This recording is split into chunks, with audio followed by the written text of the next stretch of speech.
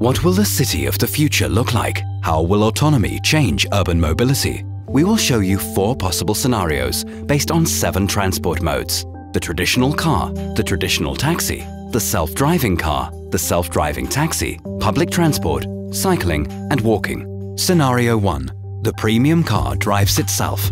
In this scenario, the city takes no action to promote self-driving vehicles. Only 11% of the passenger distance travelled is done by private self-driving cars and 4% by self-driving taxis. The remaining 85% is covered by traditional means of transport.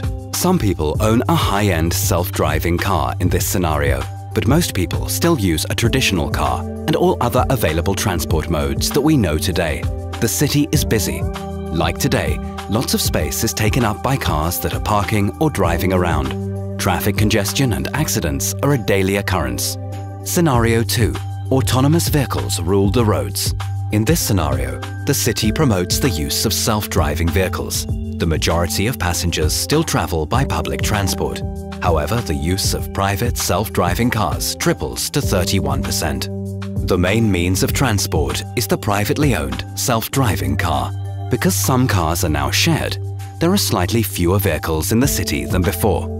This makes traffic more fluid and frees up some space. Accidents due to human error are reduced. Scenario 3.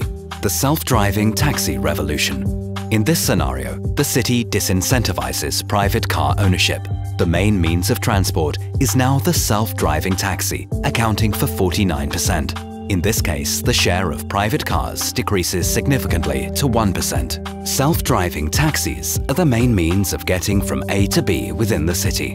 They largely replace private ownership of a car and take over some bus passengers too. We also see more pedestrians and cyclists around as the city promotes sustainable modes of transport. Since the majority of car users switch to using taxis rather than owning a car, there are significantly fewer cars pedestrians and cyclists have more space. Traffic flows fluidly.